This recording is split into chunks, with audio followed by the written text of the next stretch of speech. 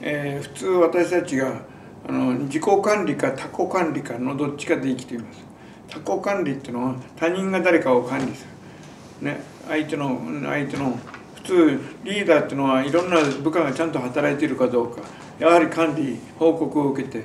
そして、ね、ちゃんと無駄な給料を払ってないかっていうのを普通の経営者ならそういうことを見見ます。そして給料だけで働いてたり人の評価だけやってある人でそこだけで動くと。それはだんだん本当に他己管理になってくる。他己っていうのは他人他人の他って書いて己って自己管理っていうのは人が何自分を管理しなくても自分で自分を管理する。例えば営業マンだったら表に一歩出たら誰も見ていません。